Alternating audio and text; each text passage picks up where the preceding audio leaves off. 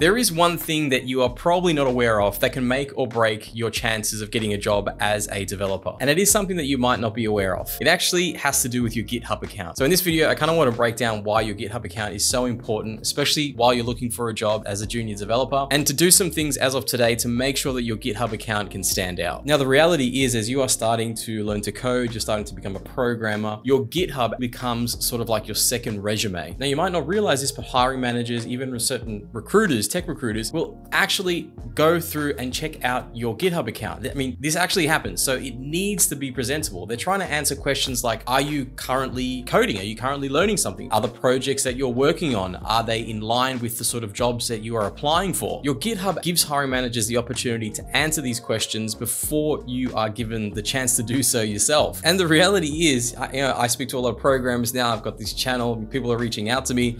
But a lot of people just don't think about this. A lot of programmers don't think about their GitHub account that much. But now that I've been speaking to software developers, even software developers that are working full time, they do tell me that your GitHub account is really important. And it is an important tool that hiring managers use throughout the recruiting process. And if you think about it, it really is an opportunity for you to show what you can do, what you've been learning. Instead of just learning in silence, you can put these things out into the world and you can show hiring managers the sort of skills that you have. There's no better place to display that than on GitHub. You know, you can think about it, it's like a kitchen trying to hire a chef, right? And they say, can you show us your Instagram account? And the Instagram account doesn't have any food related content on there, like no dishes that they've prepared well, they have no way of proving what they can actually make. Maybe that's a bad example, but I think you can understand the metaphor here. GitHub gives you the opportunity to show hiring managers what you can do, what you've been working on, and that you are consistently actually coding. Okay, so what are the important things that employers are looking for when they look at your GitHub account? Well, I can tell you, and even after just speaking to a recent software developer friend of mine, what they are looking for is relevant projects. They're looking for projects that are relevant to the type of work they're trying to hire for. So if you're looking to get into machine learning, but you're applying for full stack web developer roles, that's probably not the right kind of projects that you should be building. And vice versa. If you're looking to get into AI machine learning, you probably need to be building more back-end technologies, more back-end software with, let's say, Python, for example. So it's important that whatever you're working on is in line with the type of role that you are applying for. And so I know you've probably been working on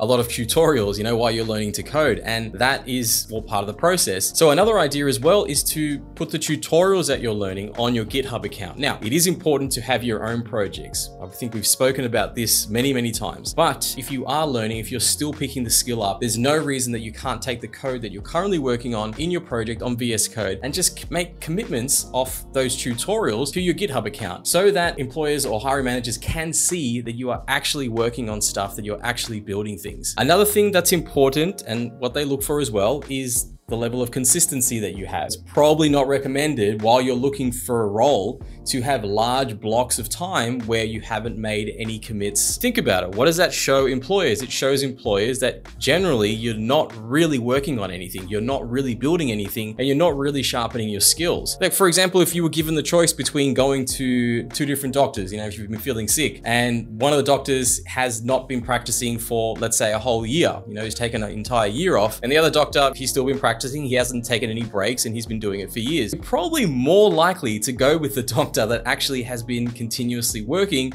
because they're kind of more up to date, they're more up to speed with what's happening at the moment, and they've just got a better pulse on what's topical right now in terms of the medical industry. And so you can apply that same kind of thinking to how you are working with GitHub. Staying consistent, staying up to date, making commits, it shows employers that you're actively working on things, that you are trying to get better every single day, and that you're committed. You are committed and you do love program. And the third thing that's important as well is to make sure that whatever you are committing to GitHub, that it is fairly readable and decent code, that it is clean code. Yeah, there's an entire book on this called Clean Code by the author, uh, I'm pretty sure his name is, yeah, Robert Cecil Martin. So if you are making repos public for people to read your code, make sure the code is clean. And a good idea as well is to add comments on your projects. Adding a lot of comments also shows that you know what you're doing. You are building things that you understand. And you can also show that when you get the opportunity to download a code base from the company that you get a job at, that you're not going to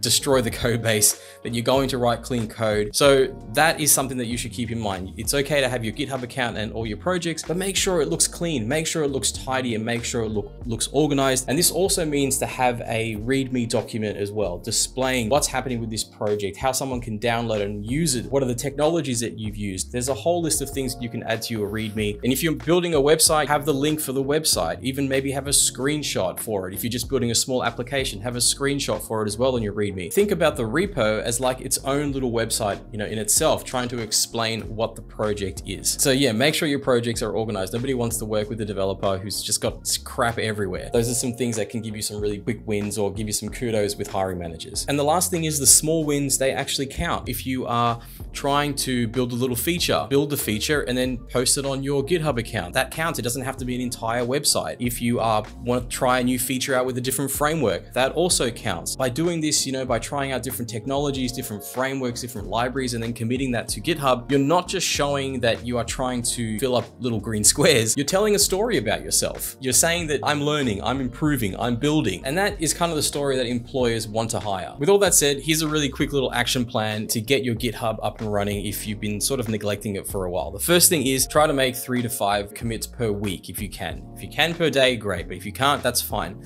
But at least try to commit three to five times a week. The next thing is have some real projects that you can showcase, even if you've been working on tutorials, like you're building a, a weather app or a to-do app, but try and put them all into a single repo to show that you've been working on a lot of small little applications and they're all in just one repo. You don't want to have small repos of to-do lists, budget apps, all this kind of stuff just in all different repos. That is not really considered original work, but you can showcase that you've worked on a bunch of these small little apps, especially while you're going through tutorials, and just put them in one repo. Another thing is you can start to fork other repos and that you are active in a community of other developers. You know, you're sort of adding to different projects and you're part of something. That is another huge benefit as well, because as you're working as a, you know, a developer, you are going to be downloading a code base onto your computer and you're going to be working on it. So if you can show that you're currently doing that and you're not working as a dev, that is a huge thing as well. And another thing you should definitely do is take the best projects that you have or your most original projects and pin them to the top of your profiles. You know, you can pin as many as you want. Make sure you have those front and center so hiring managers can see the projects that you're working on that you want to showcase. Instead of having all the repos that you've ever worked on listed in a, you know, sort of a long list, just pin the important ones. And those are the ones that hiring managers or recruiters will be able to access very quickly. Another thing is, you know, add some information about yourself. Add a README document on your profile page and add information about yourself, you know, who you are, what your experience is, the technologies that you use. Make it look interesting, add a little bit of flair to it, add a little bit of personality as well, and it's gonna pay dividends for you. So if you haven't been paying attention to your GitHub account, this is your message to get on top of it. Start working on projects in there, start making those commits every single week, show your consistency, show all the different projects that you're working on. You know, and I'm only creating this video because now I've started to realize just how important this is. And I've been hearing about it constantly about how hiring managers and people that are looking to hire developers, they really do look at GitHub accounts. So if you haven't thought about this already, this is your reminder to make sure that you've got a clean GitHub account. Make it sort of a goal for this week to clean it up, pin the right repos, start getting those commits going on as well. And yeah, just have a professional looking GitHub account. It's gonna pay you dividends. All right, that's it for this video, guys. Uh, I'll see you in the next one.